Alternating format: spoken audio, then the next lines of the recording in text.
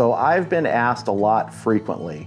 In fact, even one of the questions in a recent Q&A I did was on this subject is, what cut of meat would you use if you were trying to feed a lot of people for the least amount of money possible? And time and time again, I always come back to this, a pork loin. This is an over eight pound pork loin and I paid, I think around 239, 249 a pound for it. So this right here was under $20 and this will easily feed 10 people. And it's one of my favorite cuts to cook out on the grill because it doesn't take a long time, it accepts seasoning really well, and you can get great glazes on it. We're gonna be doing a glaze here in a little while to get ready for later when it's out on the grill. But first I wanna break this down into two pieces. Now sometimes the ends of these will be more pointed and this one has a little bit of a flappy section, but I'm gonna leave that. We're just gonna cut this in half and get it seasoned up. There's really no trimming to do. You can see the other side has a nice fat layer on it. We wanna leave that, at least I do. If you wanna take this off and just have meat with no fat on the outside, go ahead, but I like this fat layer. So we're just gonna go right down the middle here, cut it into two sections.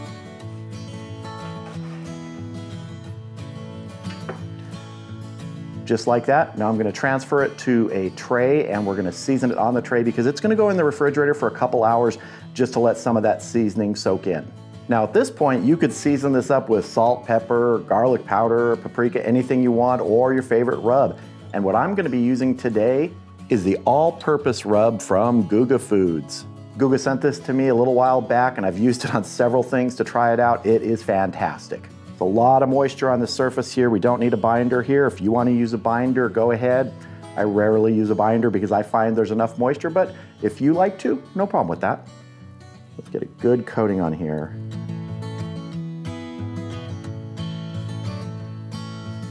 Get all the sides, even that fat side.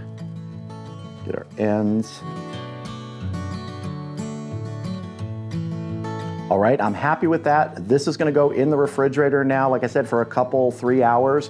I want that seasoning to really sort of set there and absorb a little bit. Right after it goes in the refrigerator, we're gonna make our glaze, and then in a while, we'll head out to the grill.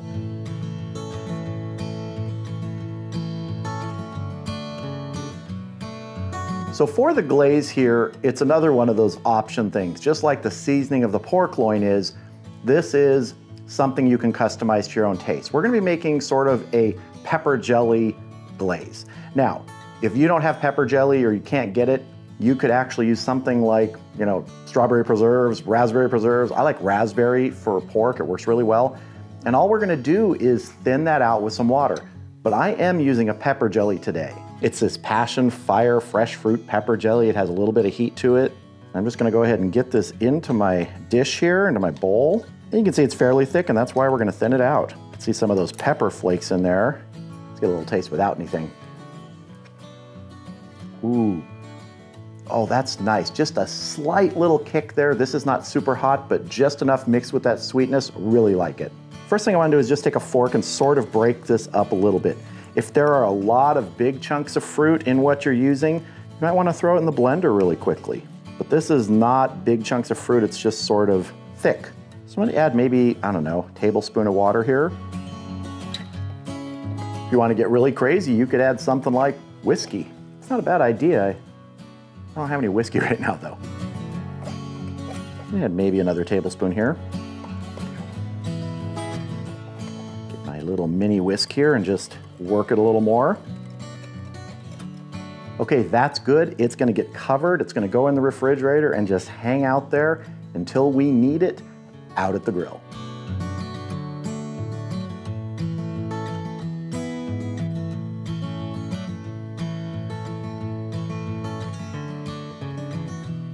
All right, the Weber kettle is up to temp. My target temp today is 250 degrees. And after we get the sectioned pork loin on, I'll be adding some peach wood for smoke. So let's go ahead and get this pork loin on.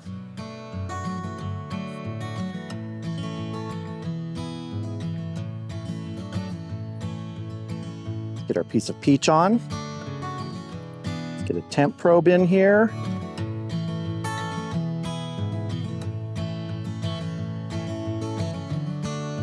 All right, let's get our lid on and get smoking on this chilly day. Now the ultimate internal temperature I want on this pork loin is 145 degrees. I'm gonna pull it at 143. I've found that that's really good. It just doesn't carry over a whole lot, maybe three to five degrees. That's my experience. So 143, I feel comfortable with. But at about 100 degrees, that's when we're gonna glaze this. So I'll see you back here when we hit 100 degrees.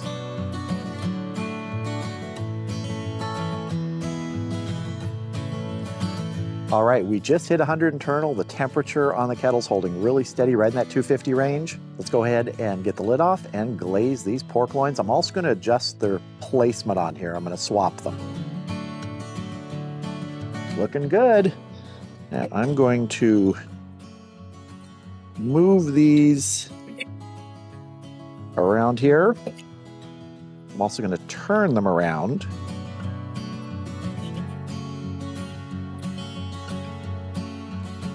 I don't think I mentioned I'm using the Malory Firewall today and the Malory Cast Iron Grate. Gives me a good two-zone setup.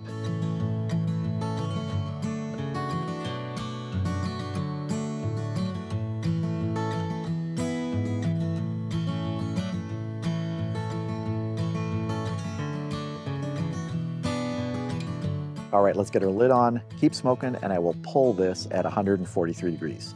I'll see you back here then.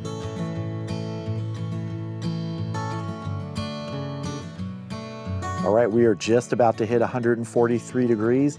Tem's been holding great this whole time.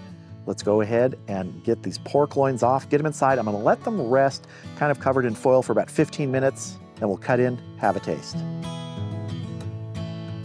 That is what I'm talking about. That looks gorgeous. Let's get our probe out of here. I think pork loin with a good rub and a nice glaze just takes on such a nice color, even with these little craggly open bits, which is normal. And I am hungry, so I wanna get these inside now so they can get through that short rest so I can have a taste. So here is one of our pork loins. It's been resting, like I said, for 15, actually it's probably closer to 20 minutes. Total cook time on this was about two hours and 20 minutes, which is pretty normal for pork loin that I find. I mean, that was a really long one, but that's not really what determines the length of the cook, it's the thickness of the pork loin. And I'm loving the color of this. It just turned out perfect. So Let's cut right down the middle here, get a little slice, and have a taste. Let's see. Oh yeah, that is nice and juicy. That's one of the things I love about pork loin is if you just really go for that 145, which is the recommended safe temperature for whole pork cuts. I know a long time ago it used to be a lot higher, like 165 or so, but when you can hit that 145 here, you get just super juicy pork. Now let's cut a slice. Oh yeah. And when I say this could feed 10 people or eight people if they're super hungry, I mean for 20 bucks for a full pork loin like that, that is not bad at all. Cut some pieces here so we can have a nice little taste. So here we go. Mmm. I really, really do like that all-purpose rub from Guga. You can tell he put a lot of thought into that and testing it for a long time because it goes good on chicken, it goes good on beef, it goes good on pork, and for pork, this is the proof. Mmm, little bit of sweetness from that glaze at the end, and for me, that pairs perfectly with pork. It's not a ton of glaze, it's not dripping off there. It was just set there at the end, and man, great way to finish this off.